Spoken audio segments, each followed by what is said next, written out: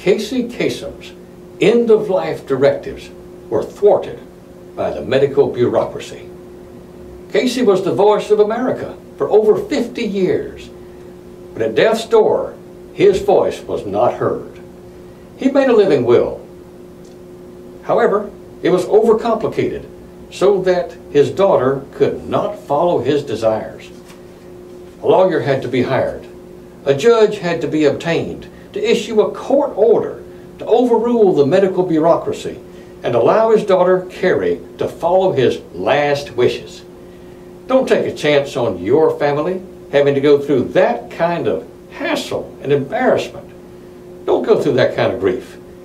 Make sure that you allow your living will to follow North Carolina law and make life easier for your family. In nearly 40 years of law practice, I have drawn thousands of effective living wills. My job is to take care of my clients. Call me